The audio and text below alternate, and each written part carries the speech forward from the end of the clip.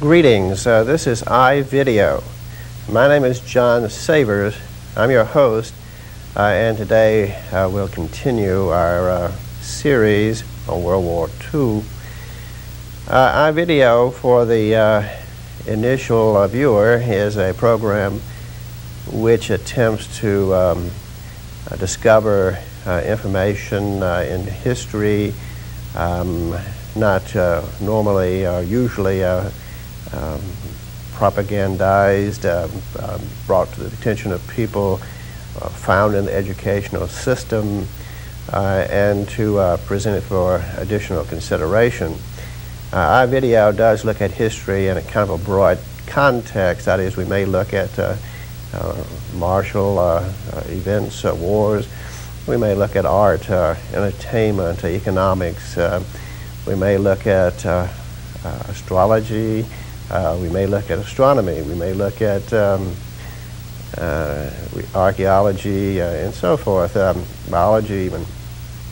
But uh, at any rate, uh, we do try to uh, bring to your attention information that is just not usually um, brought to, to the fore in the educational system. we think that this causes a, a problem in the educational system. We think that students are not getting um, a, uh, a broad and rounded uh, education because of these omissions. So we try uh, to have a little educational um, program here uh, in that sense of, um, of uh, filling in the gaps uh, or bringing to the attention of others these matters which should be considered, I believe. Um, you're free to to disagree. Uh, we are, are certainly uh, people who are firm freedom of speech uh, and thought uh, which uh, initiate such speech. Um, we will, um, in this particular episode, initiate a, a sort of an attempt to understand what might be the motivation behind the alleged atrocities uh, relating to the camps in World War II uh, and uh, hope to, to expand understanding and knowledge in that regard. Now, in, for this particular reason, uh, and I do want to have you be patient because it may seem like something of a digression, the, the uh, initial part of this uh, program um, being relatively, seemingly removed from the um, uh, the subject matter. But uh, uh, bear with me, and we will begin by taking a look at um, the ramifications of a comment made by um, George Orwell, which I thought was really insightful. That is, that those who control the present control the past, and those who control the past control the future. Well, uh, Let's take a look at that and just see how that may be playing in contemporary America. So please consider. Every child who enters school at age five is mentally ill because he comes to school with allegiance toward our elected officials, our founding fathers, our institutions, and the preservation of this form of government. Patriotism, nationalism, sovereignty, that proves the children are sick. Because the truly well individual is one who has rejected all of those things and is what I would call the true international child of the future. This is a citation from the Illuminati by Eric Z. Levitt, footnote page 61, citing Dr. Pierce, Harvard University, addressing 2,000 teachers in Denver, Colorado in 1973. Well, gee whiz, uh, I think this Dr. Pierce would be uh, really annoyed by uh, a personality such as mine, uh, my sort of views and whatnot. Um, uh, a rather backward person from their point of view, uh, such people. But let's consider another citation just to kind of get in your mind how broad this is in our educational system. Any child who believes in God is mentally ill. Now, this is a citation from the Illuminati, Eric Z. Levitt, footnote, page 61, uh, citing Dr. Paul Brandwein, consultant for the Elementary and Secondary Education Act, Title III, 1970. Well, I think with such consultants, uh, and bearing in mind the Masonic uh, influence uh, in the Supreme Court and elsewhere in our judiciary, uh, it's, it's pretty understandable uh, how we have gotten in this kind of educational mess. Uh, of course, Freemasonry is rather influential, as we have seen in um, the U.S. Congress. We, in the past, have given a citation uh, which we may have um, a reason to bring again uh, in another program at another time. But Rich, at which time uh, we had the subject of masonry uh, crop up in the Senate floor, uh, and we had such people as um, uh, Alan Simpson, of uh, 33rd degree um, Freemason, I think from Wyoming. Um, uh, Jesse Helms, I think a 32 or 33 degree Mason from Carolina, North Carolina. Strom Thurmond, a 32, 33 degree uh, Freemason from um, uh, South Carolina, and uh, uh, Senator Byrd of West Virginia, 33rd degree Freemason. So they were all standing up and uh, saying, well, uh, in the words of Mr. Alan Simpson, I believe that Freemasonry is just the bedrock of this country. And I thought to myself, well, if Freemasonry is the bedrock of this country, uh, who needs quicksand? You know, uh, it's like the house of Usher sinking into the swamp right now. And uh, so, but um, uh, these people do have a high opinion of themselves. They're there in uh, great numbers of influence, and um, uh, this is why we've had these uh, dreadful changes in the last uh, 40, 50 years. But uh, let's take another citation, shall we?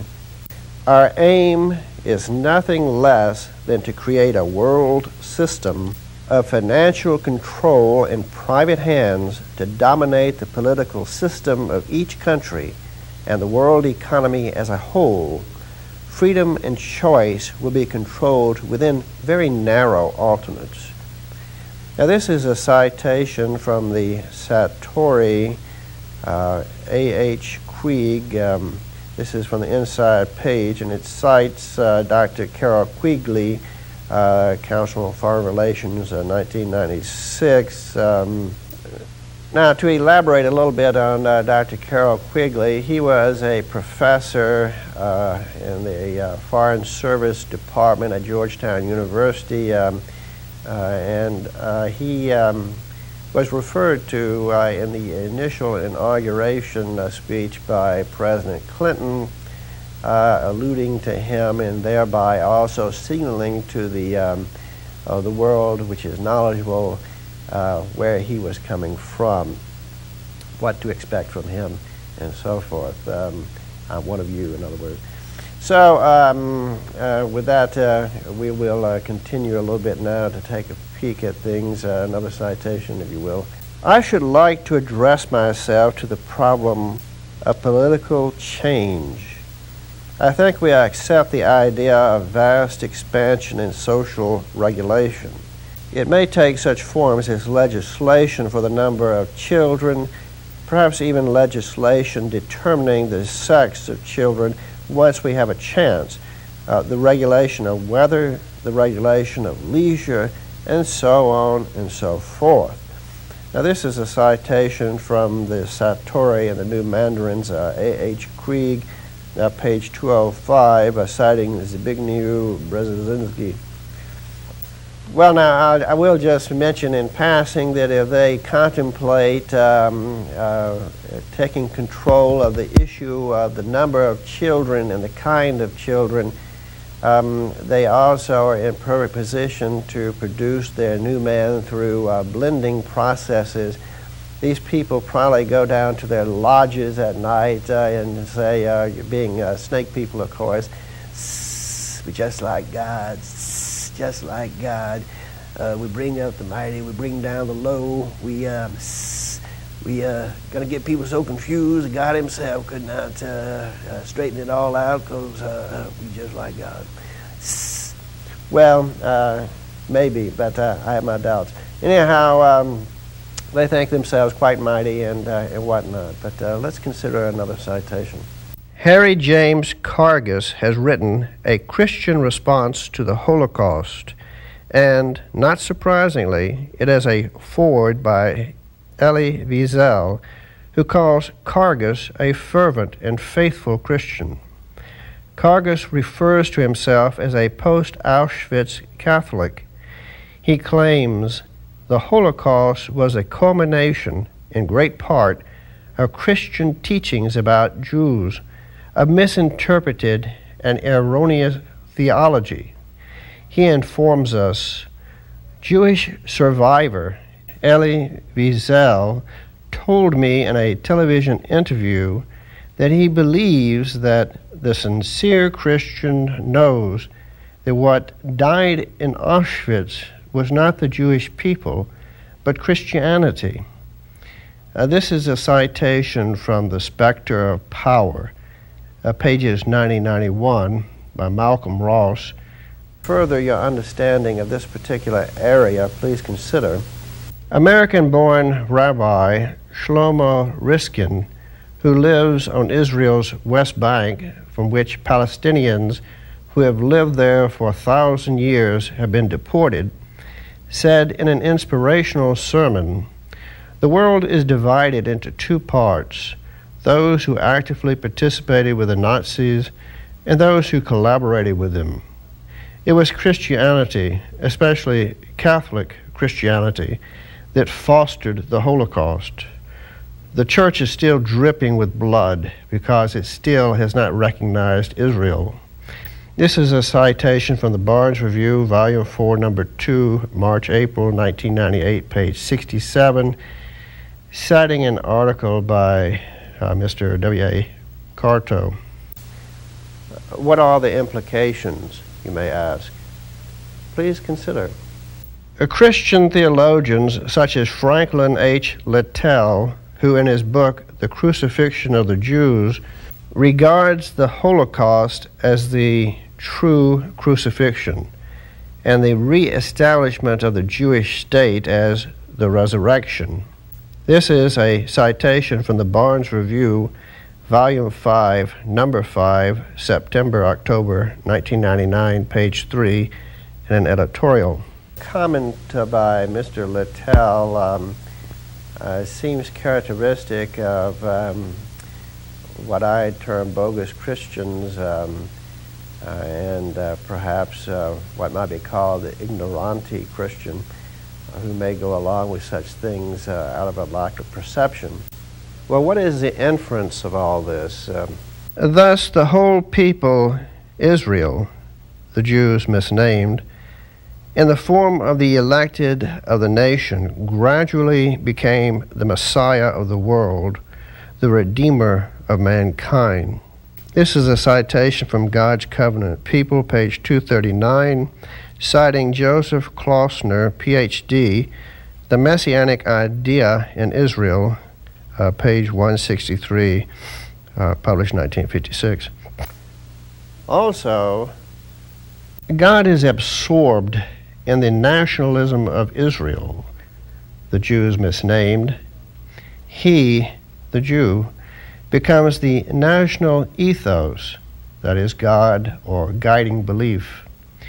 This is a citation from God's Covenant People, page 238, citing Rabbi Solomon Goldman in God and Israel, quoted by Douglas Reed in The Controversy of Zion, uh, 1978, page 48. Uh, further, fundamentally, Judaism is anti Christian. This is a citation from God's Covenant People, uh, chapter 8, page 189, citing the London Jewish World, 1923. The Israelite Christian, um, uh, this position uh, seems to be stating uh, the uh, Jewish people collectively as the Messiah and therefore as an antichrist uh, position. But to um, uh, this is a position favored astonishingly in rather large sections of Christianity, or supposed, supposedly Christian uh, uh, thinking uh, areas. But at any rate, um, to further and deepen the understanding of this particular matter, consider this citation.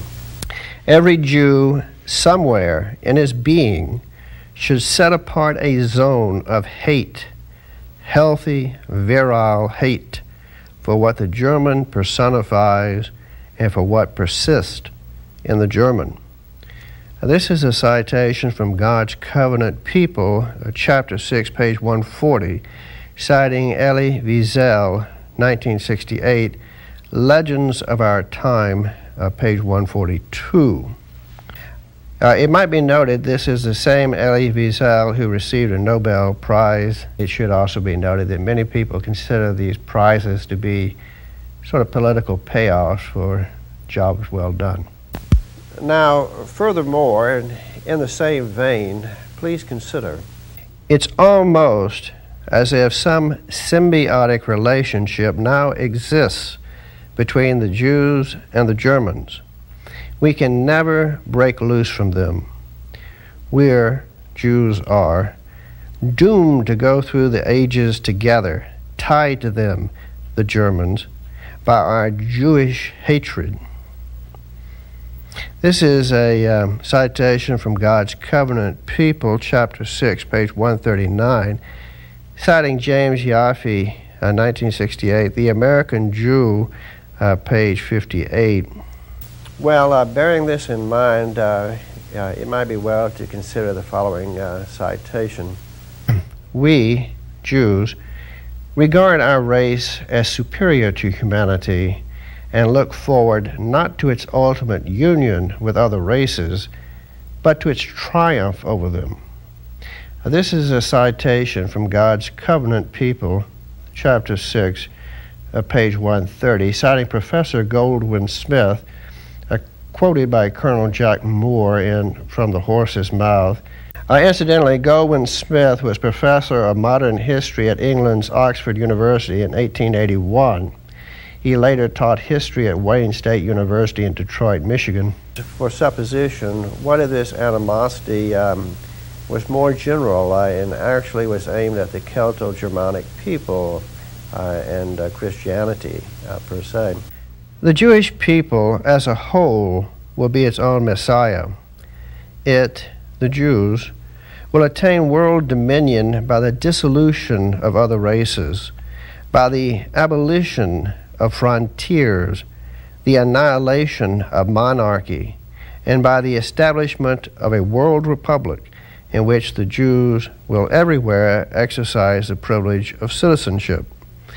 In this New World Order, the children of Israel, the Jews misnamed, will furnish all the leaders without encountering opposition. The governments of the different peoples forming the World Republic will fall without difficulty into the hands of the Jews. It will then be possible for the Jewish rulers to abolish private property and everywhere to make use of the resources of the state. Thus will the promise of the Talmud be fulfilled, in which is said that when the Messianic time is come, the Jews will have all the property of the whole world in their hands. This is a citation from God's Covenant People, chapter 6, page 129 citing Baruch Levy's letter written to Heinrich Karl Marx, quoted in La Revue de Paris, 1 June 1928, page 574. I believe that the strange uh, uh, emergence of the Holocaust uh, as the uh, salient aspect of uh, the belligerent event known as World War II uh, has a certain inverse relationship uh, to the prominence of Christianity uh, in uh, uh, Western society. I, I, see in this sort of an indication of the demise of Christianity in any kind of um, real sense. I, of course, exclude bogus Christian thought entirely. But um, nevertheless, please consider this particular citation. Fundamentally, Judaism is anti Christian. God's covenant people chapter 8, page 189, citing the London Jewish World, 1923. Now, it should be noted that of the three most prominent countries uh, doing Christian missionary work in the world, uh, we find Germany as one, uh, the other two being England and the United States of America. Well, uh, bearing this in mind, uh, uh, it might be well to consider the following citation. The Rothschild banking dynasty, history shows, had a long record of financing revolution.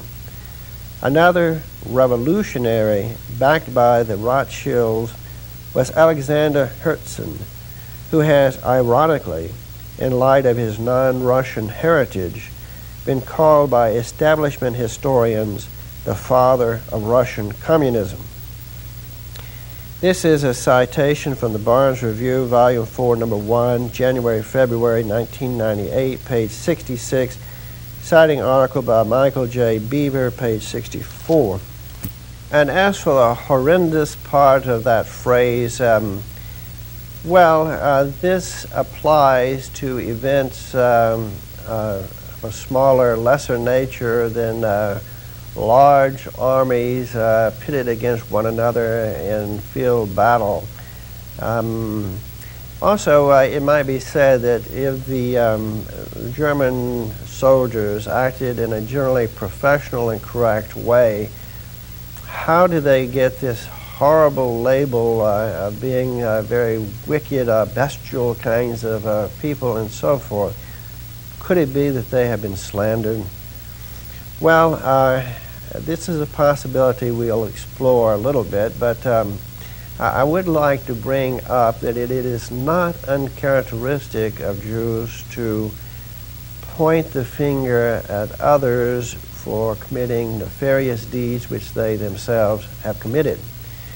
Um, if we look at um, uh, the Holocaust in this context, uh, we may find that um, uh, it is merely a displacement and echo of bloody deeds uh, done in earlier times uh, in uh, around World War One uh, and up to World War II and beyond, uh, and perpetrated by Jews themselves. Is there evidence of this? Well, consider the following. The Soviet Republic of Hungary was formed March 21, 1919. Leading the communists was the bloodthirsty 33rd degree Jewish Freemason Bela Kun. Cohen. Kun was Grand Master of the Grand Orient Lodge, Haladas, uh, at uh, Debrecen. Although political and economic conditions made his coup bloodless. It did not remain so. Grand Orient Freemasons began blaming the middle and upper classes for Hungary's problems, suggesting they be eliminated. Assisting Kun were the following Grand Orient Masons.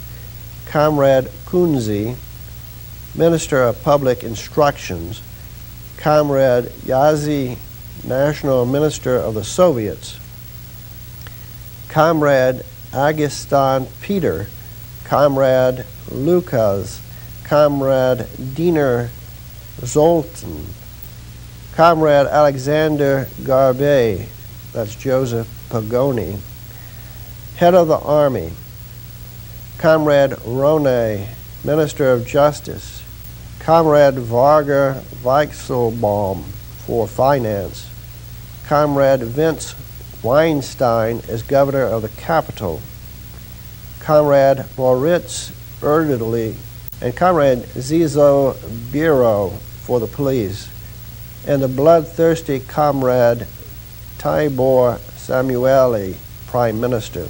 Szamuely engineered the slaughter of the bourgeoisie while traveling about Hungary in a special train, an eyewitness of which there were few, uh, gives the following account. This train of death rumbled through the Hungarian night, and where it stopped, men hung from trees, and blood flowed in the streets. Along the railway line, one often found naked and mutilated corpses. Szamuely passed sentence of death in the train, and those forced to enter it never related what they had seen. Szamuely lived in it constantly. Thirty Chinese terrorists, triads, watched over his safety. Special executioners accompanied him. The train was composed of two saloon cars, two first class cars reserved for the terrorists, and two third class cars reserved for the victims. In the latter, the executions took place. The floors were stained with blood. The corpses were thrown from the windows while Szamuely sat at his dainty little writing table in the saloon car upholstered in pink silk and ornamented with mirrors. A single gesture of his hand dealt out life or death. Within weeks, Bela Kun and his Masonic comrades had destroyed the old order. Three months after forming the Soviet Republic of Hungary, Bela Kun and his comrades fled to Russia, where they continued their slaughter under Lenin and Trotsky. Uh, this is a citation from Scarlet and the Beast uh, by uh, John Daniel, um, uh, volume 1, uh, pages uh, 469 and 70. After this, what is left but Germany?